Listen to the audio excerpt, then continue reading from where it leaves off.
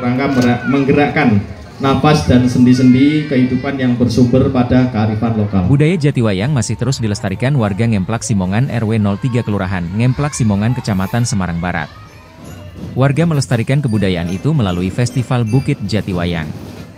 Festival itu dikemas melalui kirab budaya yang dimulai dari Kelurahan Ngemplak Simongan dan berakhir di RW 3. Festival itu rutin digelar warga Ngemplak Simongan RW 03. Festival itu memasuki tahun kelima yang digelar warga.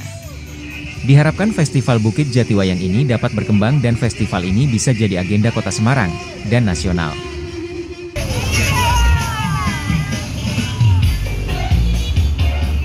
Ini Festival Jatiwayang di RW 3 Kelurahan Plak Semarang Semarang Barat. Ini tahun ke 5 acara rutin tahunan yang diselenggarakan oleh pada tingkat RW di RW 3 festival yang menggambarkan mengenai napak tilas. Bagaimana uh, warga di RW 3 ini ada dulunya dari mana hijrah ke sini kemudian sampai berkembang. Yang dipercaya masyarakat sekitar adalah seperti itu.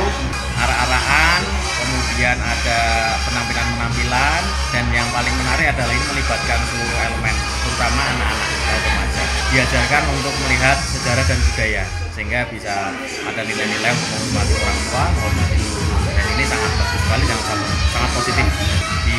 uh, festival kali ini lebih tertib, lebih rapi dan lebih kreatif. Jadi pelaksanaannya sangat bagus, rapi. Dan harapannya pastinya ini bisa lebih berkembang, bisa diangkat ke event tingkat kota, bahkan event nasional.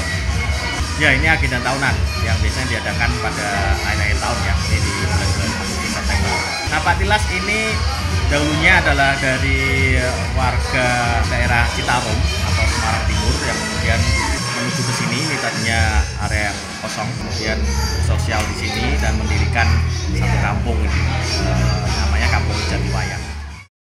Jangan lupa follow, like, dan subscribe sosial media Tribun Jateng. Download Tribun X sekarang, menghadirkan lokal menjadi Indonesia.